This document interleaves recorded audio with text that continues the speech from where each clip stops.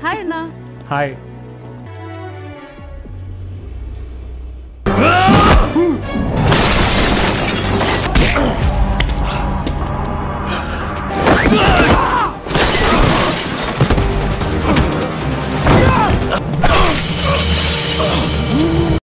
Halo sahabat, Assalamualaikum. Semoga sehat selalu dan senantiasa berbahagia. Terima kasih ya udah subscribe dan menyimak video-video LK21 Revive. Semoga Tuhan Yang Maha Esa selalu memberikan rezeki yang berkah dan berlimpah ruah tentunya untuk sahabat semua. Kita sapa-sapa dulu para penonton setia LK21D5 ini ya sebelum lanjut ke alur ceritanya. Terima kasih nih buat Anjas Febio, Murtaza Ars dari Aceh, Sudirman Agus, Andriano dari Bali, Alfianor dari Kalimantan Selatan, Ahmad Nurseka dari Brebes, Bang Ipul dari Ponorogo, Ahmad Arif dari Wonosobo, Suratmin dari Sumatera Utara, Putri dari Kendiri, dan buat teman-teman semua yang belum mimin sapa nanti di next video ya.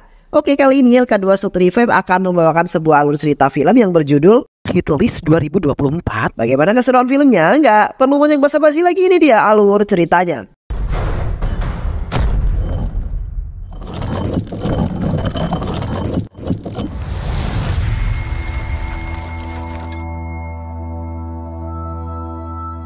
Di kota Hyderabad, hiduplah seorang pria bernama Vijay bersama sang adik, perempuan yaitu bernama Kirti, dan sang ibu yang sangat disayangi. Vijay adalah seorang pria kelas menengah pada umumnya yang memiliki sifat lemah lembut, di mana Vijay tidak menyukai sesuatu hal yang berbau kekerasan ataupun pembunuhan. Di samping itu, Vijay bekerja di perusahaan dan menjadi seorang pekerja IT yang sangat rajin dalam bekerja.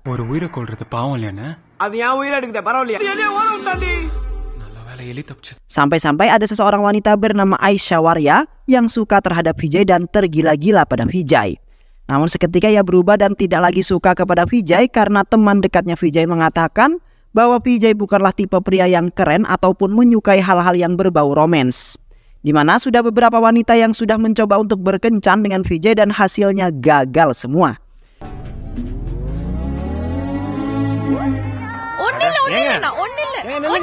Nothing nothing Vijay sangat menyayangi makhluk hidup yang berada di muka bumi ini. Sehingga Vijay telah membuat prestasi di depan orang-orang agar mereka semua mengerti dan mau menjaga makhluk hidup.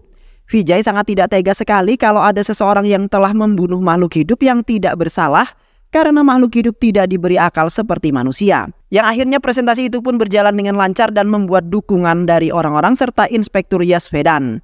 Well-wisher influencer இப்படி சொல்லிட்டே போலாம் Pada suatu hari, Vijay mendapat panggilan telepon dari seseorang pria yang tidak dikenal dan mengatakan bahwa orang yang menelpon Vijay telah menculik ibu serta adik perempuannya Kerti. Dengan segera Vijay langsung meminta tolong kepada Inspektur Vedan dan mengatakan mengenai kejadian tersebut. Dan dengan sigap, Inspektur Vedan langsung menangani kasus itu dan mengerahkan pasukannya. Sesampainya Vijay di apartemen, Vijay tidak menemukan ibunya dan juga Kerti. Yang pastinya pria misterius itu benar-benar telah menculik ibu dan Kerti. Namun di saat itu Vijay tidak menemukan di kamera CCTV bahwa ada pria misterius di apartemen tersebut. Melainkan hanya ibu dan Kerti yang keluar untuk belanja dengan mengendarai mobil dan tidak ada hal yang mencurigakan. Di samping itu Vijay sangat panik sekali karena hanya merekalah satu-satunya keluarga yang ada. Dan jikalau mereka benar-benar diculik dan dibunuh, maka tidak ada lagi kebersamaan dan kebahagiaan yang bisa dirasakan oleh mereka. Di malam itu Vijay beserta anggota kepolisian telah menemukan mobil yang dikendarai oleh ibu serta Kerti di pinggiran jalan. Namun mobil itu dalam kondisi menabrak sebuah pohon dan terdapat sebuah besi yang menancap di kaca mobil bagian depannya. Di samping itu mereka bertemu dengan seorang penjual kelapa yang mengetahui persis kejadian tersebut yang mana ketika itu mobil ibunya ditumbur oleh van berwarna hitam hingga menabrak pohon. Dan seorang pria bertopeng keluar dari van tersebut lalu menancapkan sebuah benda yang telah mengeluarkan gas beracun. Pria bertopeng itu kemudian membawa Kerti ke dalam mobil dalam kondisi yang pingsan. Dan tak lupa pria bertopeng itu juga telah menculik ibunya juga. Pria penjual kelapa itu tidak bisa menolong karena dalam keadaan mabuk berat.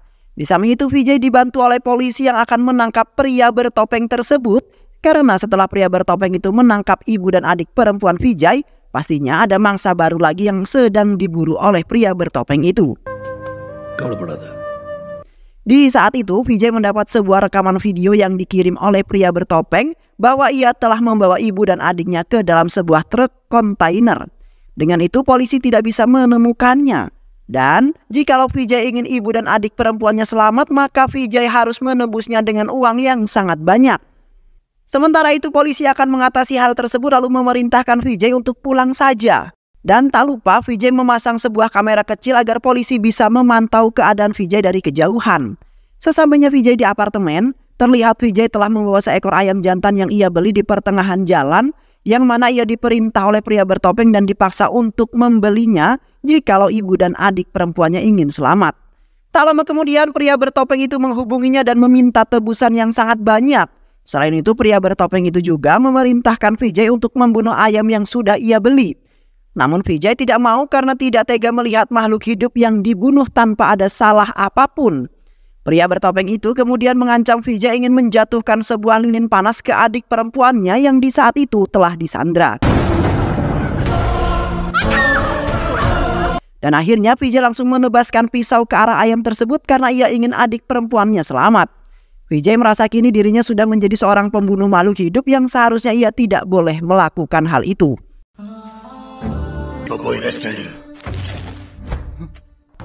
Keesokan harinya Vijay mendapat panggilan dari pria bertopeng itu yang mana Vijay harus datang ke sebuah lokasi yang sudah diberikan untuk menjalankan sebuah misi yang kedua. Kini Vijay sudah terhasut perkataan pria bertopeng yang selalu saja mengarahkan Vijay ke jalan yang buruk. Vijay terpaksa menuruti perkataan pria bertopeng demi ibu dan sang adik perempuannya selamat.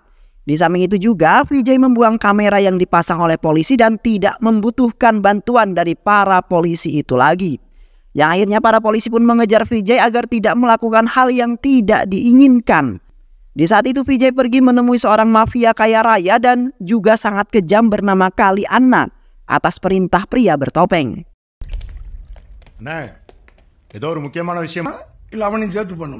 Vijay kemudian diperintahkan untuk membunuh Kali Anak dan berduel dengan Kali Anak untuk menentukan pemenang. Sontak, Vijay ditertawai oleh Kaliana beserta anak buahnya karena Vijay adalah orang pertama yang menantang Kaliana.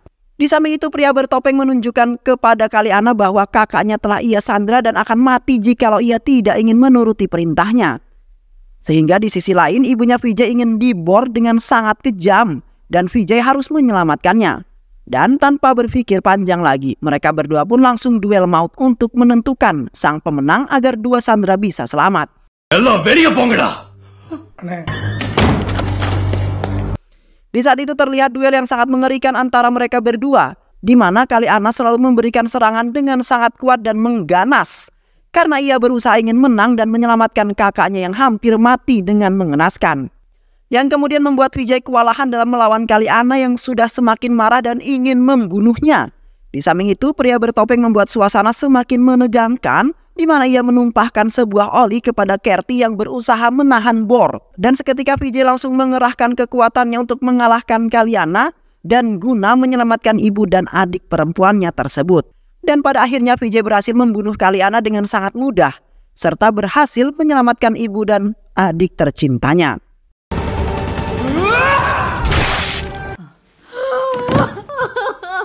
Seketika Vijay merasa tidak menyangka dengan apa yang telah ia lakukan, di mana ia kini sudah menjadi seorang pembunuh bayaran ataupun saikepet yang rela ia lakukan demi menyelamatkan keluarga tercintanya.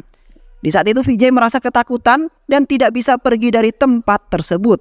Karena di luar anak buah Kaliana terus-terusan mencoba mendobrak pintu karena mereka sudah mengetahui bahwa bosnya sudah dibantai oleh Vijay. Tak lama kemudian anak buah Kaliana berhasil membuka pintu lalu menghampiri bosnya yang sudah tewas. Sontak mereka semua merasa tidak terima atas kematian bosnya yang sangat agung tersebut. Mereka kemudian menghabisi Vijay hingga babak belur dan kalau bisa sampai tewas saja. Namun beruntungnya Inspektur Vedan datang pada tepat waktu untuk menyelamatkan Vijay. Terlihat Inspektur Vedan membantai habis anak buah Kaliana yang mengganas.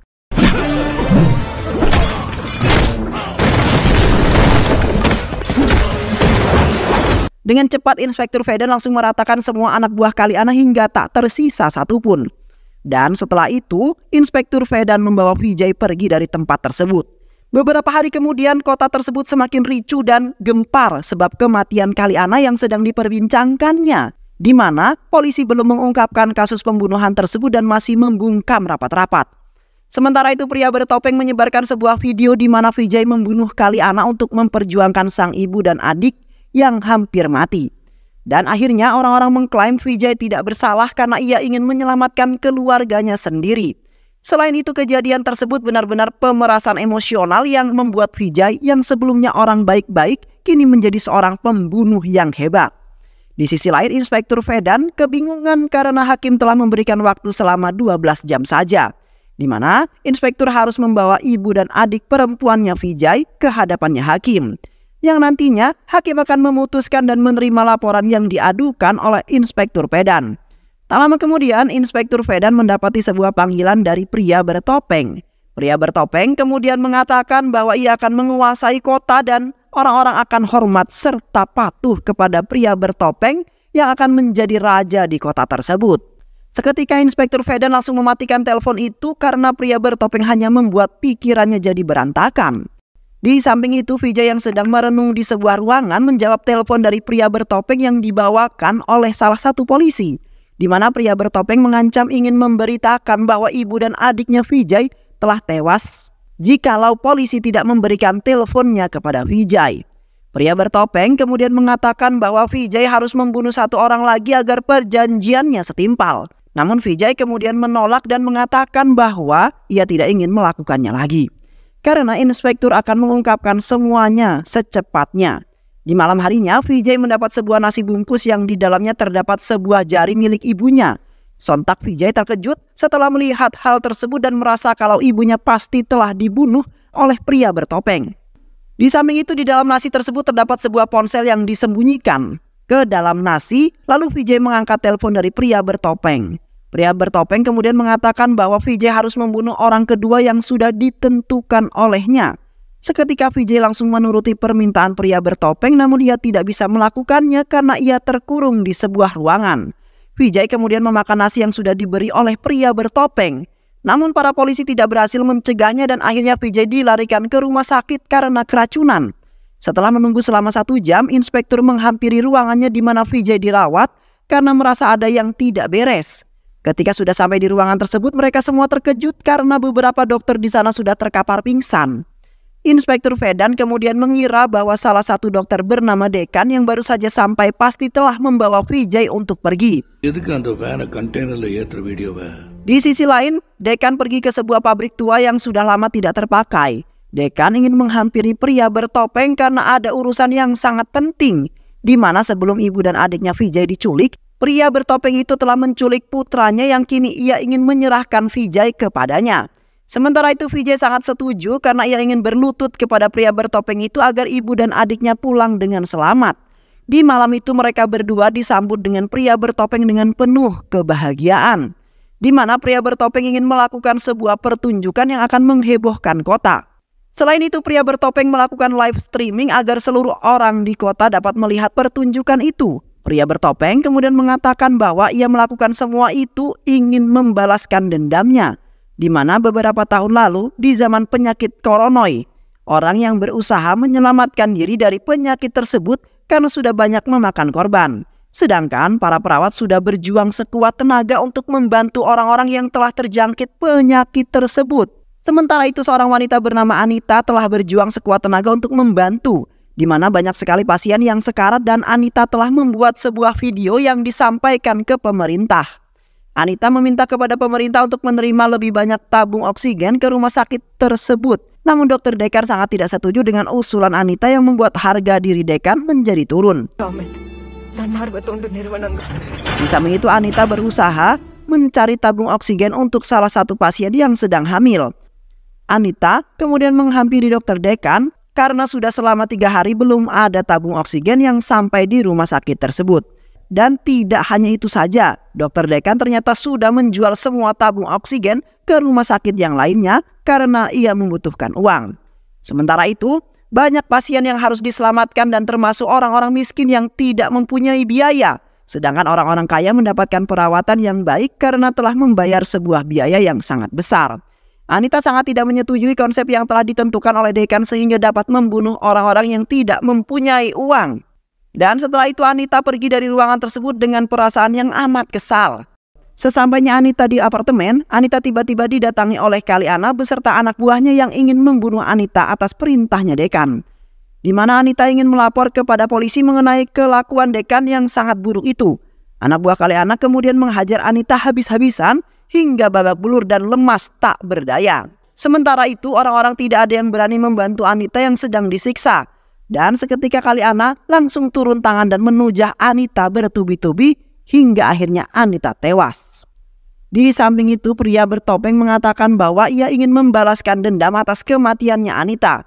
Karena di waktu itu tidak ada yang membantunya sama sekali padahal Anita masih mempunyai waktu untuk bertahan hidup dan tidak ada satupun orang yang menolongnya. Kini, pria bertopeng ingin melampiaskan dendamnya kepada mereka berdua.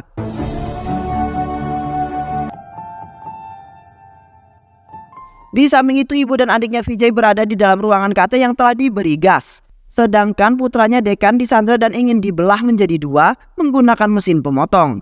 Dan pria bertopeng telah memberikan waktu selama dua menit untuk menyelamatkan keluarganya masing-masing. Pria bertopeng kemudian membuat peraturan yang sama seperti sebelumnya di mana Vijay dan Dekan harus berduel untuk menentukan pemenang dan dapat menyelamatkan keluarganya. Di saat itu terlihat Dekan memukul Vijay dengan membabi buta karena ia ingin menyelamatkan putra kesayangannya dan hidup bahagia seperti semula.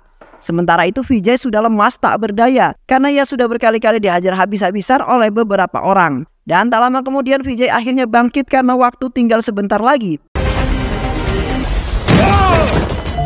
Yang akhirnya Dekan berhasil dihabisi oleh Vijay hingga tewas. Di samping itu Inspektur Vedan telah menemukan tempat di mana ibu dan adiknya Vijay serta Vicky yang disekap. Dengan sigap Inspektur Vedan langsung membebaskan mereka semua yang hampir saja tewas. Keesokan harinya pengadilan telah menyatakan bahwa Vijay hanya digunakan sebagai alat saja meskipun ia rela membunuh orang-orang untuk melindungi dirinya dan keluarga tercintanya.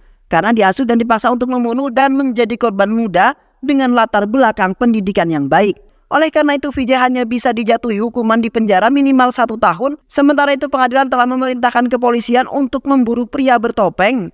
Beberapa hari kemudian Inspektur Vedan menemui Vijay untuk diinterogasi. Inspektur Vedan kemudian memerintahkan Vijay agar menemui pria bertopeng itu untuk berterima kasih. Namun Vijay menolaknya karena ia sangat trauma dan takut karena ia telah membuat Vijay seperti saat ini. Inspektur Vedan kemudian mencela perkataan Vijay dan merasa curiga dengan Vijay di mana ia telah menemukan bahwa pria bertopeng telah masuk ke ruangan kaca dan tidak terjadi apa pun kepada ibu dan juga saudara perempuannya Vijay. Setelah itu pria bertopeng tidak sama sekali menyalahkan tangki oksigen yang berisikan gas beracun dan bukan hanya itu saja, ia telah meletakkan sebuah tongkat agar gergaji besi itu tidak menyentuh Vicky. Sementara itu tongkat yang berputar-putar di depan mata ibunya lagi-lagi telah dicegat dengan sebuah besi. Dan kepolisian juga telah mengirim jari ibunya sebagai analisis di mana ibunya telah melakukan prosedur tanpa rasa sakit menggunakan anestesi lokal untuk membuat jarinya mati rasa. Namun Inspektur Vedan merasa curiga dengan ibunya karena bisa jadi ia membantu pria bertopeng itu. Ataupun ibunya lah pria bertopeng tersebut. Di mana pria bertopeng itu memiliki dendam terhadap orang-orang yang telah membunuh Anita dan juga Kini. Vijay tidak memiliki salah apa pun dengan pria bertopeng tersebut. Sontak Vijay langsung memukul meja karena Inspektur Vedan telah menuduh ibunya yang bukan-bukan.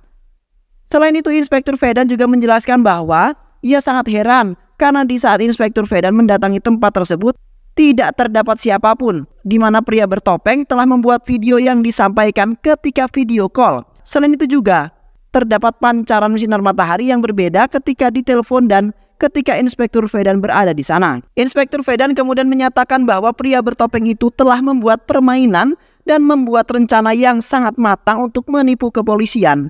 Inspektur Vedan sangat bahagia dengan Vijay yang dapat mengelabui orang-orang dengan kecerdasan dan Inspektur Vedan sudah menyatakan bahwa Vijay adalah pria bertopeng itu, di mana Vijay telah merekayasa video serta panggilan video call itu. Sementara itu ibu dan adiknya lah yang telah mengatur semua itu, sedangkan Vijay bermain dengan caranya yang pada akhirnya semuanya telah diungkapkan oleh Inspektur Vedan pada saat penyelamatan waktu itu. Vijay kemudian mengatakan bahwa ia berkonspirasi sebagai sebuah keluarga sebagai penghormatan untuk ayahnya yang sudah tewas pada waktu itu, yang mengharuskan dirawat di rumah sakit. Dan Anita telah merawatnya. Ayahnya telah menyelamatkan orang-orang hamil dengan memberikan oksigennya. Karena di waktu itu orang-orang kaya yang memiliki tangki oksigen banyak tidak memberikan sama sekali. Di mana ayahnya ini meninggal ketika berada di kursi roda. Yang akhirnya Vijay beserta keluarga membuat rencana selama 2 tahun untuk membunuh mereka. Dan setelah itu mereka berpindah rumah agar tidak ada yang mengetahui satu orang pun. Namun kini semuanya sudah terungkap. Vijay terpaksa melakukan ini semua demi mencari keadilan walaupun di mata hukum tidak adil. Sementara itu Inspektur Vedan memerintahkan Vijay untuk kembali ke sel tahanan karena ia sudah mendapatkan semua file yang mengenai kejahatan yang telah dilakukan oleh Vijay. Yang akhirnya semua dendam Vijay terbalaskan dan kini Vijay merasa tenang di dalam penjara. Dan film pun selesai. Baik sahabat, itu lalu cerita film yang berjudul Hit List 2024. Bagaimana keseruan filmnya? Mudah-mudahan sahabat semua terhibur dengan alur cerita film ini. Sehat selalu. Wassalamualaikum warahmatullahi wabarakatuh.